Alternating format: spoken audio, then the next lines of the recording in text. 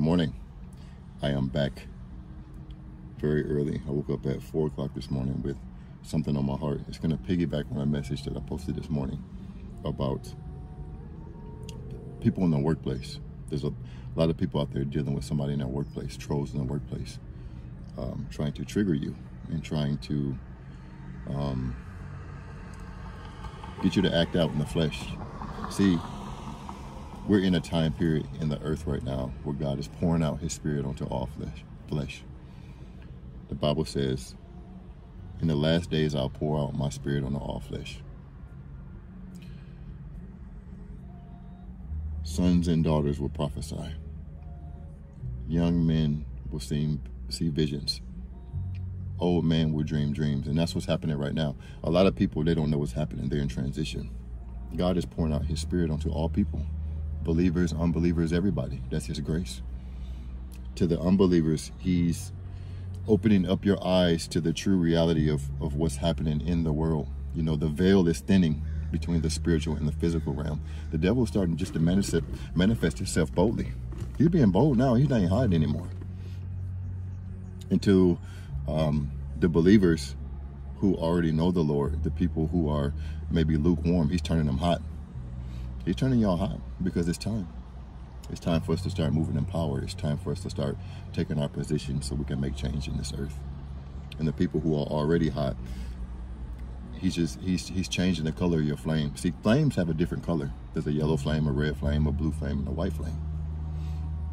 So if you're already on fire for God, and uh, He's pouring out His Spirit on you, you're increasing. You're turning into a different color flame with that being said, see, there's a war going on that we can't see in the spiritual realm. You know, every day you're in a war, you're in a fight. And sometimes you think things just happen for no reason, but that's not true. Things happen for a reason. There is a devil and he does have demons. Unfortunately, some people, just like there's a vessel for the Holy Spirit to be used to give, to deliver a message, to give hope, to give a word of encouragement or exhortation, you know, or uh, some kind of miracle or moving healing, you know, there are agents for darkness who are willing to be used, some knowingly and unknowingly, against, you know, you or other people. See, a lot of people ask, or some don't know, they say, what is a demon? Where does it come from? See, before the flood, that everybody on the earth was wicked. Everybody on the earth was wicked. There was only a few people, which, you know, Noah and his family, they were found righteous in God's eyes. That's why they built the ark. But the Bible says that the people who on who were on earth in the days of Noah focused their mind on evil things continuously continuously. So they were just evil. There was no good. There was no good on the earth. Everybody just was selfish, uh, murder, strife, envy, uh, you know, just hating each other, you know, just drunkenness and, and just just bad humans. So if you can kind of make that connection and look at the time we're in the earth now, you know, look at the the current state of the government. Look at what's going on. Look at what they're doing to kids. I mean, they're teaching kids that they can change their gender. I know that's going to trigger some people. But when you start messing with kids, I think that's where a lot of people have um, drawn the line. We're not having it. We're not having it. You can't, you start messing with kids, man, the gloves come off. You're telling a little boy he can become a girl and telling a little girl he can become a boy, and that's, you're doing too much. Nope. Not having it. But anyways, um, demons. So in the days of Noah, there were people who were evil on the earth who focused on wicked things and did wickedness continually. So God said, I'm done. I'm in the flood. Noah built the ark. And uh, I'm, I'm going to handle this.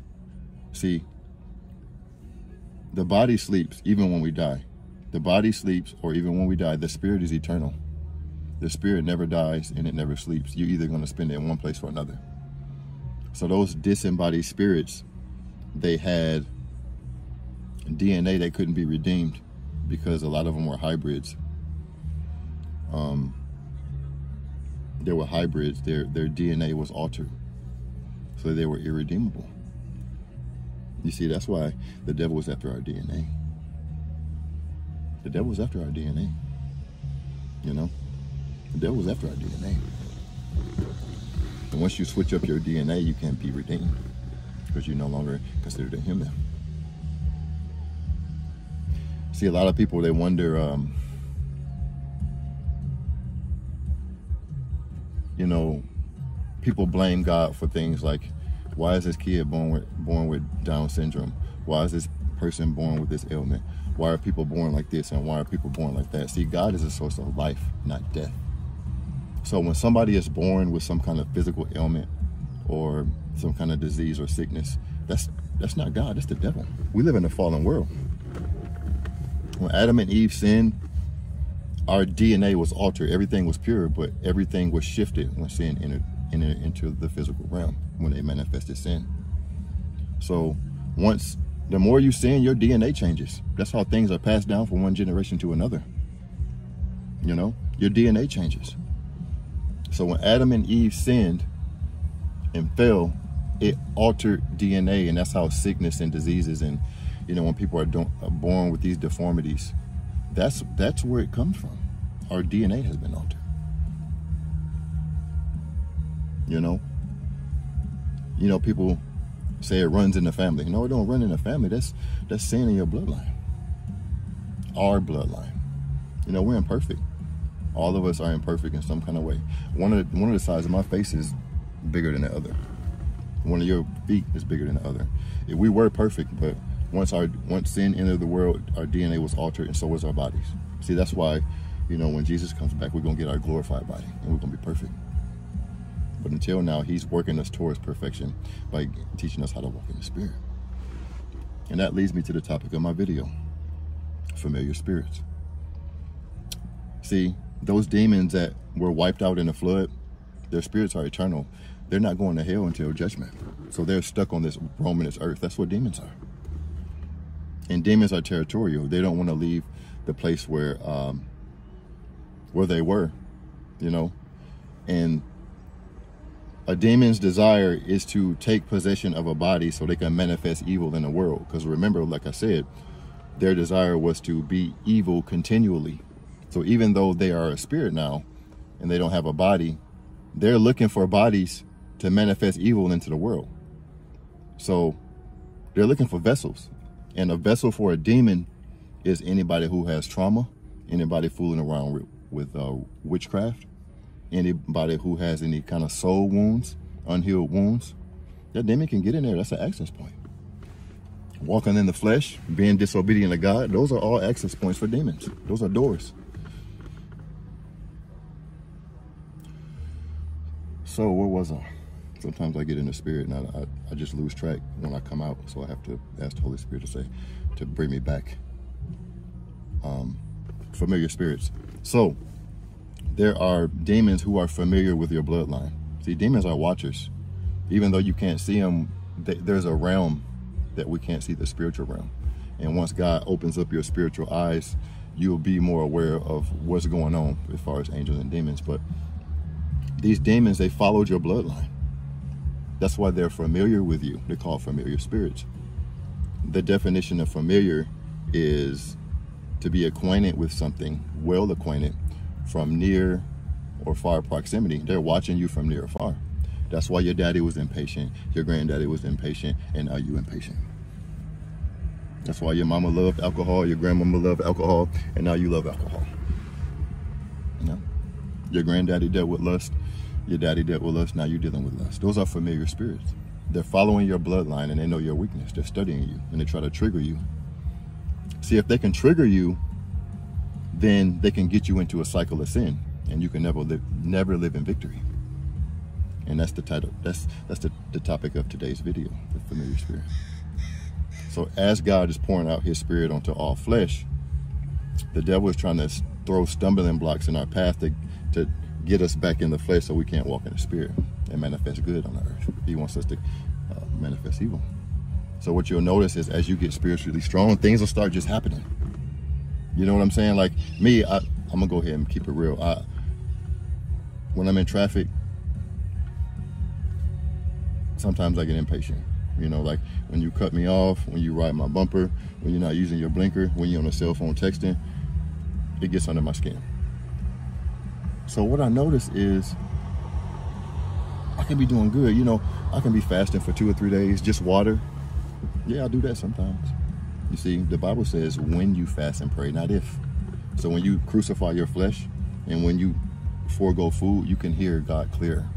You know, it's a sacrifice. You can't bend God's will and get him to do things for you, but you can just hear him clear and get revelation and become strong spiritually. So sometimes I'll fast for two or three days. I'm reading my Bible, I'm doing good, I'm praying. You know, I'm not living in sin, I'm feeling strong. And then all of a sudden, you know, I'll go to work or I'll go somewhere, I'll get in a car, and I'll get on the interstate. It'd be just me. Just me on the interstate. And all of a sudden, a car will come up real fast and get right on my bumper and ride me. No other cars on the road. LA has six lanes. They can get in any other lane, but they want to ride my bumper. And that that kept happening for so long.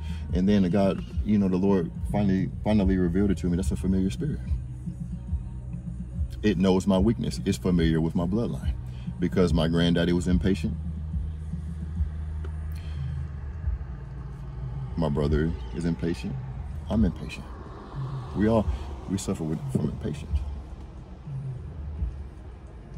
You don't want to ride in the car with me, with us. Mm-mm. And that's just being honest. All of us have that thorn. See, Paul talks about a thorn in the flesh, the thorn in my side. You know, when he was he was begging God, God, please remove this thorn, because he kept falling to the same habitual uh, sin over and over again, over and over again. But God said, "My grace is sufficient for you." So yeah, you don't want to ride in the car with me because if somebody get on my bumper or or keep cutting me off or, or I'll be ready to fight. I'm just gonna keep it real. And I've really had to work on that. God has really been working on me with that. Before when I was in Nashville, I noticed he started dealing with my impatience because traffic is worse, worse out here. I couldn't act out like that like I did in Nashville here. I'd be done got into a fight or something. But the familiar spirit is here to trigger you it's here to trigger you. It's familiar with your weakness. It waits until you're spiritually strong so it can drag you back into the flesh to make you weak again, or wait. It waits until you're weak again to um, totally break you. To totally break you. You see, we trying to get out of cycles of sin. So the familiar spirit has come to get you back in it. See, the familiar spirit is, is to get you to feel rejected, to get you to feel abandoned and unloved. That's why they do, always do things to you to try to tear you down. Because whatever addiction or vice you have, you're trying to break out of that. But when you feel abandoned or rejected, you know, you may smoke cigarettes, you may look at pornography, you may have a drink of alcohol, you may have some kind of sexual experience or, or want to spend money when you feel down. Those are vices. And we're trying to break out of that kind of stuff. So the familiar spirit is designed to come and get you back into that sin cycle by feeling rejected.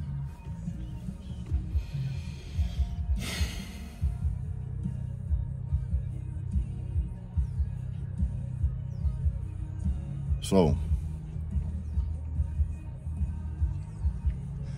this is the kind of knowledge. See, the Bible says, My people perish for the lack of knowledge.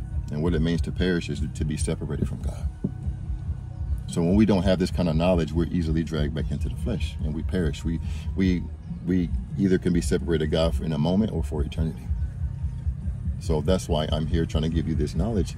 So you know you're not separated from God. You can stay in the spirit. So the next time something happens crazy, you know, it can be anything. It can be somebody at work. They'll go out of their way to do something crazy to you. Like, where did this come from? You know what I'm talking about. You know what I'm talking about. You just, you go to the store and everybody acting crazy. Everybody acting crazy. You know, the clerk done threw your change at you, got an attitude with you, and you, you asked them how, how their day was going. You know what I'm talking about.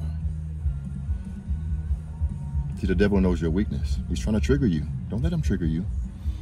And that person at work See, the devil doesn't have all the energy in the world. He doesn't. He's weak. You know, he's weak. So the Bible says, resist the devil and he'll flee from you. So I'm gonna give you a, I'm gonna drop some gems right here for you. The way you can wear out the devil is by moving in the fruit of the spirit, according to Galatians 5, 22 and 23. So when he come to you with strife, either don't respond at all because you resist him. He'll go, he'll go away eventually because he's trying to get you to react. He's trying to get you to uh, lash out and get in the flesh. But when you resist him and you don't respond, he's not getting what he's want, what he wants, and he gets tired and he goes away. Another way you can wear him out is by moving in the fruit of the spirit. When they come with you with that drama, just love them. Be nice to them. And it'll it'll anger them more for a minute, but then they eventually they'll go away because they're not getting that reaction out of you. They failed their mission. Familiar spirits. Listen, don't be a victim. Don't don't take the bait. Don't fall for it. If they're at work aggravating you, if they, you know, some of them can be in your family. You know, every time you're doing good, you get that call with somebody with family drama. Nope, hang the phone up, block them, do whatever you got to do. Don't go for it. Don't take the bait.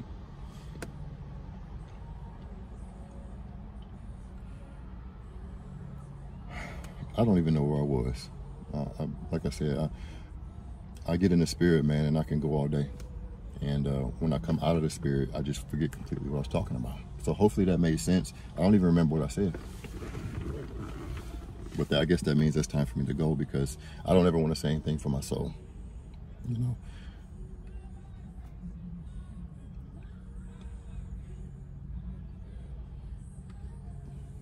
Stay prayed up. Stay vigilant. Um, don't let these agents get to you. Don't let these agents see. Some of them don't know. Don't take don't don't take it out on them because some of them don't know. Some of them do know. A lot of people are into witchcraft and voodoo and uh, New Age and you know all of these this paganism and things that are going on. Some of them know, but a majority of people don't know. They're just victims. That's why God says pray for our enemies. Some of them don't know that they're being used against us or used for darkness. They don't know. So one prayer that I always do is pray that their eyes of understanding are open and that they can see. Um, that way they can get to healing. Because we, I don't want to see nobody perish. I don't want to see that. I hate seeing people stuck in trauma and bondage, you know, and being mean spirited. I don't like that. I love people. I used to be stuck in depression and anxiety and, and all that stuff. It's not a good feeling. So I can only imagine how they feel. That's what's given me the compassion to you know, not lash out at people. You know, I'll give you an example. I used to be real impatient. Like, if you did anything, but I'd, I'd go off on you. I would. I'd just go off. I was at the uh, restaurant down here, and um, ordered my food, and there was a guy. You know, he was he was back there cooking, and um, I think I forgot they forgot something on my order. And I went up to the counter and I, I said, hey, um, can I get, you know, can I get this? You know, you forgot on my order. And he didn't respond. Normally, normally I would have said, you MF, didn't you hear me talking to you?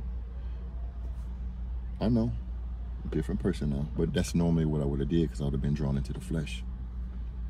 But you know, in my mind, I said, you know what? Maybe he didn't hear me, or maybe there's some. Maybe he's busy. It, you know, walking in the spirit, you it kind of makes you. The spirit is your counselor, your advocate, so it helps you kind of navigate the world. That's why we need him. So the Holy Spirit said, just chill out. Maybe he's not hearing you, or whatever. So I stood there for a minute patiently.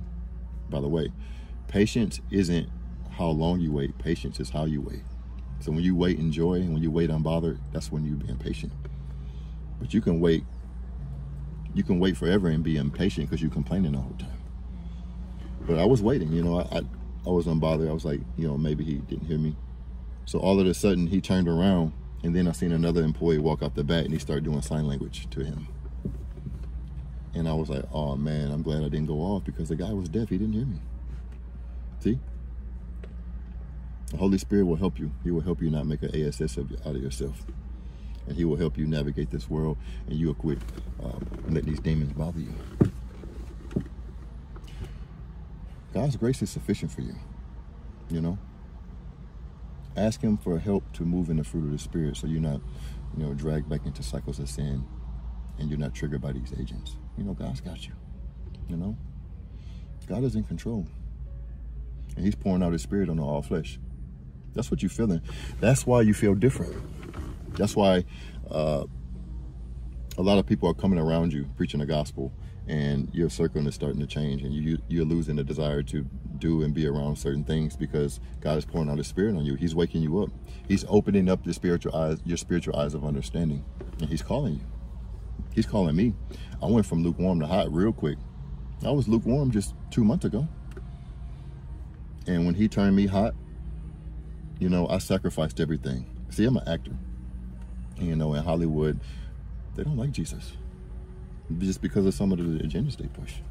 So I put my career on the line and everything. i t- I'm talking about Jesus all day because I would rather stand in the council of God and acknowledge him before men and he announced me in heaven than deny Jesus on earth and he turned me away when I get there.